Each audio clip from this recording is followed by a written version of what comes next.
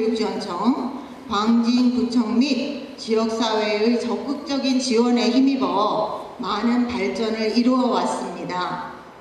오늘 개관하는 본교 복학관인 차오름관은 경과보고에서 말씀드렸듯이 서울 성동 광진교육지원청에서 총 공사비 42억 7,400만 원으로 발주된 우리 동자가족 수건 사업의 결실이었습니다. 2016년에 건물의 설계가 이루어지고 2017년 오늘에 이르기까지 2년 가까이 우리 어린이들과 학부모님들은 큰 기대와 염원 속에서 건물이 완공되기를 기다려왔습니다. 오늘 이 자리에 오신 내빈들을 비롯하여 정말 많은 분들이 성원을 보내주셨습니다.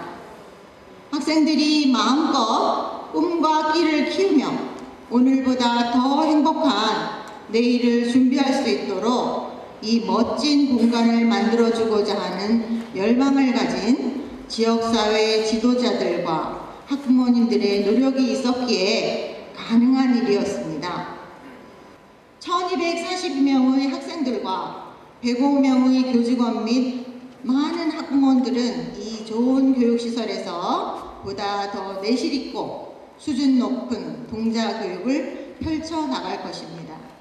그동안 저희 동자초등학교의 차오름관이 개관되기까지 애정어린 관심과 많은 협조를 아끼지 않으셨던 성동광진교육지원청 김수득 교육장님을 비롯한 관계자 여러분, 주식회사 미래 CNR 시공사 여러분, 그리고 참석해 주신 내빈 여러분, 무엇보다 공사 기간 동안 불편함을 참고 오늘 개관식을 위해 적극 도와주신 우리 동자 초등학교 학부모님들과 학생 여러분에게 다시 한번 뜨거운 감사의 말씀을 드립니다.